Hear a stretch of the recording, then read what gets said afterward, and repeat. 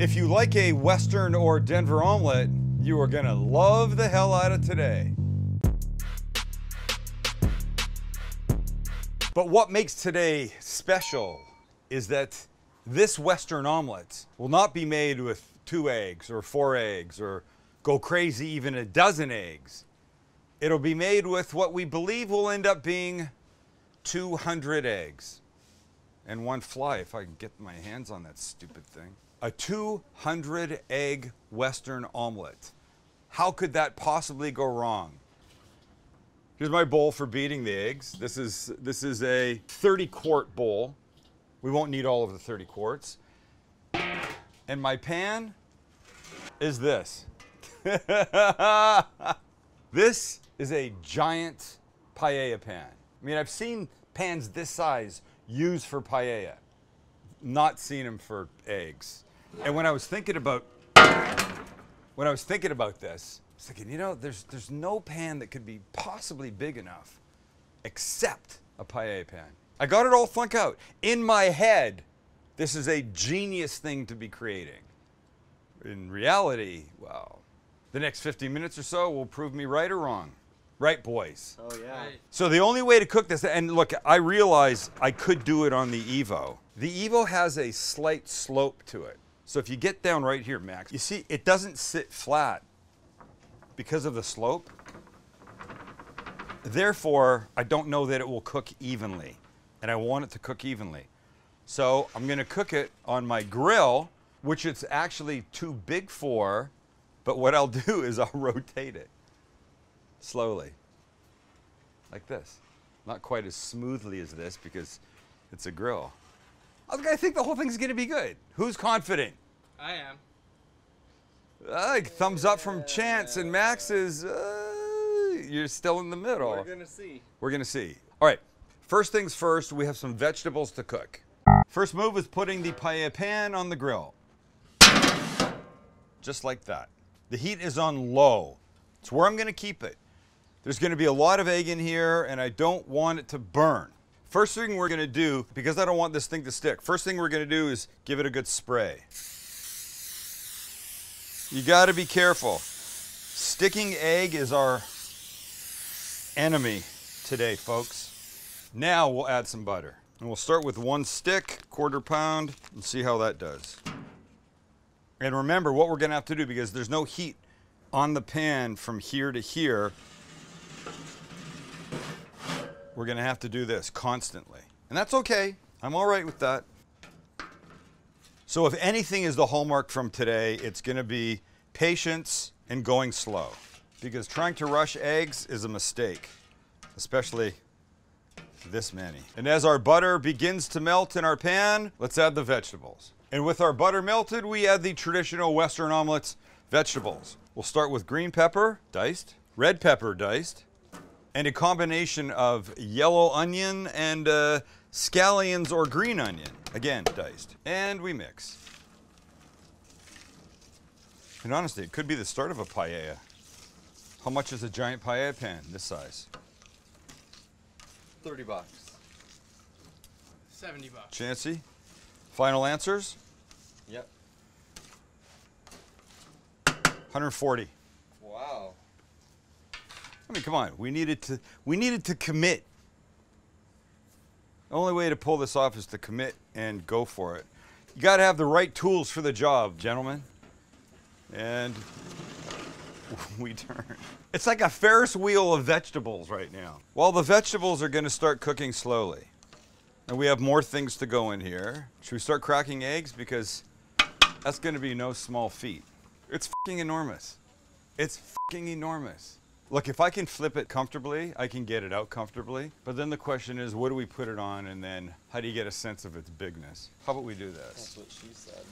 She talks a lot, man. Here's the plan. In front of me are six racks of 30 eggs each. That makes 180 eggs. I know how much I can fill up my bowl with uh, beaten eggs, and it can still fit in my paella pan. I want this to be 200. So we're going to crack all these, add another 20, and then hope that it's not going to be too much. And it's a lot of eggs to crack. So helping me crack eggs today, ladies and gentlemen, will be our very own Chance. Thank you, thank you. Did you know You're I'm welcome. Uh, actually ranked in egg cracking? So No, go ahead. Tell us about that. I'm Where, a where's top it? ranked egg cracker. That's all I can say. Where'd that happen, Tell us Chance? about Egg that University. bullshit thing you just said. Chance apparently went to Egg you. Here's your eggs. Thank you. I'll take my eggs over here. And here's our bowl. All right, Chance, you have eggs in front of you. You have a receptacle for your shells. And let's just start cracking, shall we? Ah, Okay. Can we go Crack back? away. Crack away. I'd like to see how you do this first. Oh, a one hand crack. Well, we don't want shells though like that. I just got my second egg. I got shells in. So maybe I'll just do this. Maybe that's easier. Oh, I think we can do 200 eggs, Chance. I agree. Now wait, here's something important. Show me where you're cracking the egg. I'm going right on the corner here. No, bad. That's a mistake. Okay. So, so notice this. When you take an egg, which camera is going to see this? When you take an egg and you crack on the side, there's a chance that you force shell up into it. Got it. You should crack on on a flat surface. That way you have less of a chance. There's a famous Less of a chance. Ah, there's a famous Martha Stewart thing where she did that and somebody called her out or whatever. So crack on the flat, ladies and gentlemen. That's a lot of eggs, man. Wait, and then we have to beat them. Good lord. How are you doing on yours? Oh, you're beating me. Well, I didn't know we were racing. We can race if you want, but. My first uh, flat is complete, Chancy.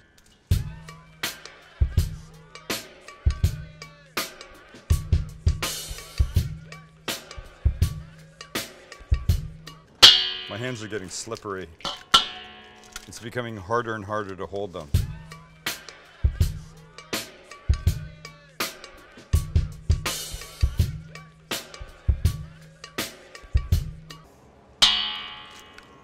Okay, I'm done with my third. That means I can get the other ones and add this other 20. Excuse me for one sec. My ranked egg cracking may have been a bit of a bluff. You think? There's a chance? A There's a chance. chance. Of all the things to lie about. right before you're about to do it. All right. You don't lie about things that are about to happen. The other 20's done. There's one more, but this guy's already been cracked. It's okay. All right. Done. Lift up your bowl of shells. I'm proud. Are you proud? We almost needed another bowl. We did a good job here, man. All right. Thanks I don't know what to me. do with shells. I think you, you smash them up, you put them in your garden, and it helps shit grow. Compost. All right, let's clean the mess up around here, and then, Max, what do we do? We cook? We whisk. We whisk. Before we beat, we have a couple things to add. Wow, is this amazing? Look it, that's my hand. That's my little hand in the middle of this ridiculous pan. Wow. All right, you know what's coming next? What's the protein part in the Western omelet that's not the eggs? It's gotta be ham. Damn you. Yes. And it's Black Forest ham. And why Black Forest ham, you might ask? Because of the smokiness, the flavor is like on steroids. Ham is nice. Black Forest ham is tremendous. Look at this. Oh my gosh. But don't forget, Max, what are the, one of the things we have to do? Turn the pan because the heat is uneven for us. A towel assist. Oh my gosh. So of course the Black Forest ham is already cooked. I'm just trying to get it, you know, married into all the gorgeous flavors that are already here, get a little heat on it. Because once the eggs go in, I don't know how much hotter it gets, especially with the amount we're putting in. But this is the perfect time for something right there. It's garlic, which I don't think is a traditional component to a Western omelet, Oh! but it is today. Uh-oh. Oh my god, it's on you. Oh my god, it's not leaving you alone. likes you. Do you want me to get them? It's gonna burrow into your fucking No, they, brain. they're blind, man. Yeah, well, it can smell your brain. Why everybody freaks out so badly about these things? Just leave the poor kid alone. Come on, buddy. Excuse me, you want me to take him out to another part of the backyard and let him go? Yes. Jeez Louise. Never seen people so Stay scared in my life. Where do you want me to go? Away from me, Joe. I'll take them up front. All right, now that all the excitement is over, let's add a little butter to our garlic. Hell, I got an idea. Let's add a little garlic to our garlic. I mean, a couple of fat cloves in an omelet this big, please. And like usual, we wait for it to start to get super fragrant, and that takes about 45 seconds. Then we'll mix it in. Ah, yes, we're there. Ah, look how beautiful. So then we'll just mix it all together. All right. This is pretty much exactly where I want it. So here's what I'm going to do. I'm going to kill the heat. Okay? We'll whisk our eggs. And then Maxie and Chansey, and we make an omelet. When I'm at home and whisking a couple eggs for my breakfast, I put the eggs in a bowl and I use a fork. But this amount of eggs, this 200 egg Behemoth. behemoth requires a whisk. And it's at this moment that we would like to shout out to one of the titans of the cooking world on YouTube. We're all fans of a guy named Babish. I'm sure a lot of you know who he is. His real name is Andrew Rea. He's really good. You don't see much of him, pretty much only see him from here down, but he does his things in a technical way that are perfect, near perfect. I don't know. What do I know? I, I don't have the skills or the training. We just like what he does. And Babish is a proponent of the tiny whisk. So today we honor Babish with our own tiny whisk for our 200 egg omelet. We're having fun. We mentioned him in the tiny whisk thing a couple episodes ago, and people thought it was a fight. It's not a fight. Why would I pick a fight with somebody that has four times the subscribers that I do? That would be a foolish move. I'm just saying, if Babish likes a tiny whisk, we're going to use our tiny whisk today for our 200 egg omelet. Good luck. I mean, good luck. How's it's that a whisk. work out? Let's find out. Here's how it's going to work. Watch. Say it, Max. And we whisk. And we whisk. Look, it works. But I gotta admit, the problem is, is my fingers are getting w- wet too. Okay, too small. We love you, Andrew, but I think we have to move on from this. Let's try a traditional whisk. Say it, Max. and we whisk. And we whisk. I say if you're not like hitting the bottom and the sides, you're just stirring the eggs and that's not going to beat them the way you want. So hit the. Good lord. I'm getting there, but even this is problematic. Hold on, I have an idea. So here's my thinking. Let's try this whisk. This feels like a whisk that can handle 200 eggs. Shall we? I have a step stool because I got to get above this giant bowl of eggs. Say it, Chance. And we whisk. It's more like a.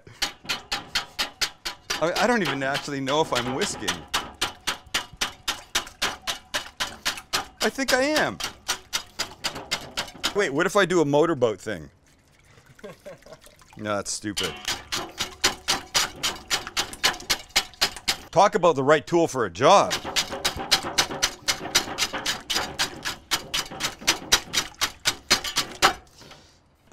Full yolks in here. All right, at this point, we need a little seasoning. Some salt and pepper would be in order. And look, it's a lot, so we'll give it that much. And we whisk again. I'll be honest with you, I'm surprised this has not gone all over my legs. now, I think we can make our omelet. We're here. We're at the moment of truth. Well, maybe the moment of truth is flipping this guy, but but here's where we are. It's a moment of truth. It's definitely a moment of truth. because I got to lift this bowl and bring it over and dump it in without spilling it. And if you're ready, I'm ready. Let's go. We're right in the middle. Oh, please don't be too much. Holy shit. Dang. That is a ton of eggs. And now we'll just mix everybody in here together nicely.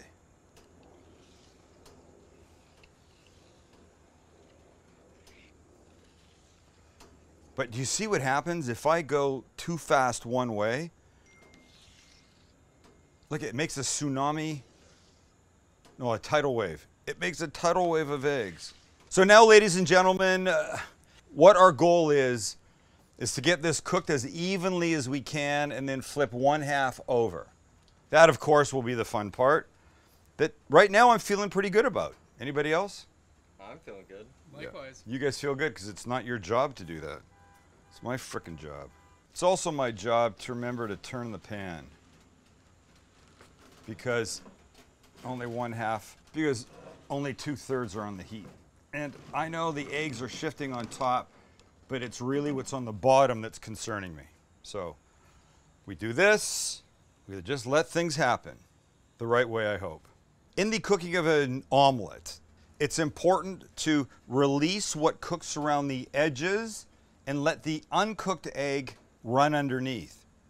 So I don't know how cooked this is yet, but you can see over here.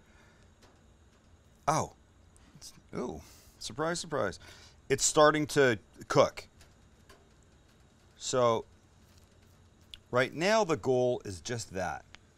Really just sort of go around the edge with a soft spatula. And you see here how this is happening? Right, it's all good. This is what we want. And if we live right, this is going to turn out. And if we've not been living right, then we just got a huge effing pile of eggs. And this side too now. These edges are going quicker. The side edges, I'm saying, as opposed to the top and bottom. But still, uncooked egg runs behind. That's the key to a giant, well, it's the key to a small omelet. And if you take your, your spatula and push down in the middle, you actually feel it not hitting metal, but hitting like cooked egg. So just keep it up. Uh, nobody said this would be quick. We only said it would be, well, I guess big. I don't even know if we promised good. But it's going to be good because all the components are good.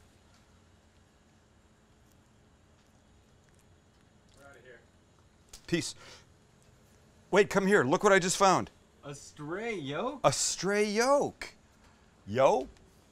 What the heck? How did my three different whisks miss that kid? This is almost therapeutic. And I don't know what therapy it's giving me other than I'm just enjoying this moment. I'm really feeling very one with this pan right now. Okay, so you don't get bored. I'm to carry on with this. We will let you see some as we go, but the next important step will be when we think it's set enough that I can fold it in half. And that will be close to adding cheese time. So my confidence level was ridiculously high before this started. Nearly 100 out of 100 that this would work out. The last uh, five minutes, I've sunk to a low of about 40 out of 100. And it doesn't help that I'm getting shit from Max on why this is taking so long, on why this side is cooking and this side is not cooking, when I just put it in an oven. Well, why is it? I would put it in an oven if I had an oven this big, but I don't.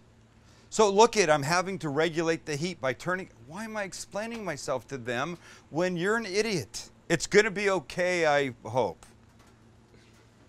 It's the best I can say right now. oh, God, did you see that?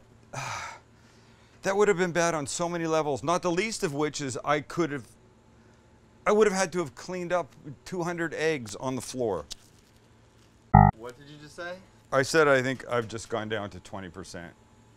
I'm feeling very unsure about this. Very a unsure. pussy. Have some confidence. You should shut the fuck up. God. You think Babish would fuck this up? No. Because he's a professional. You know what? That has to cook right there. This doesn't need to cook. So now I just have to do this. Just stand here waiting for that shit to cook. I mean, this is difficult circumstances. I'm getting fed up with the excuses.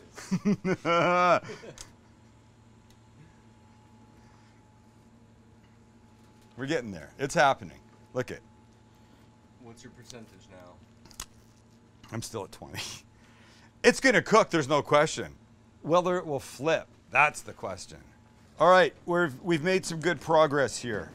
Most of the uncooked egg is gone. I'm just still trying to get it to run in behind of the cooked parts. And I think we're pretty close.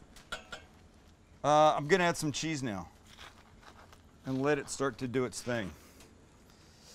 My confidence level that started at 100 and, and then took a short dip to a 40%, uh, slid to 20, but I'll be honest with you, right now I'm sitting somewhere around a five. So a couple big handfuls of Monterey Jack, maybe three. So God knows what this thing's gonna weigh, but I just put like three cups of cheese in here, so it's gonna weigh something. And my goal now is just to loosen enough that when that moment comes, I can just try and flip one half over. It's only one half. And you can see how this is happening. This is, this is coming up in sections of about five inches, which does not bode well for my immediate future. But I can tell you this, it's gonna be freaking delicious. And if you want some eggs, just send Max your uh, address and he'll be sure to send you some. All right, here's my plan. You can see this half of the omelet is set the most. There's still liquid over here and that's okay this is going to become the bottom and this half is going to become the top. So using this large spatula, I'm going to release as much underneath as I can with this one. You see what I'm doing here? And this tells me, perhaps innocently and naively, that I might be able to do this. Is it possible that I can use this cutting board to prop under here. If I could get that far with it, see, that works. Wish I had two of those.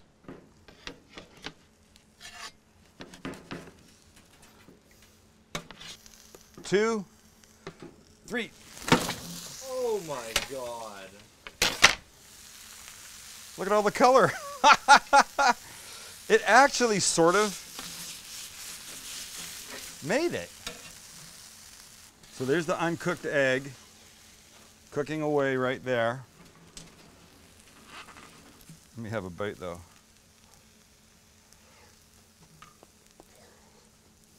Mmm. How is it? It's freaking delicious. Oh, it's hot. Ah, oh, God. Well, it ain't the prettiest omelet I've ever seen. I will be honest. And without further ado, ladies and gentlemen, oh, here we are the fly. Jeez. Okay, I got to admit, kind of impressed. It's an awful lot of Western Denver omelet, whatever you want to call it. But it's pretty. I just need some green onions. There you go. How's that? This fork feels way too small to tackle something this big. But then, this is not a competition. I'm not meant to try and eat this in 30 minutes or it's free. This was just to make a big ass omelet. And somebody asked about making a lot of eggs, and I don't remember who it was, but we did it, so consider this for you. And now we should have a bite of our gorgeous 200 egg Western omelet. And I'm just gonna go to the edge, right? Try and get everything. Green pepper, red pepper, onion, the Black Forest ham.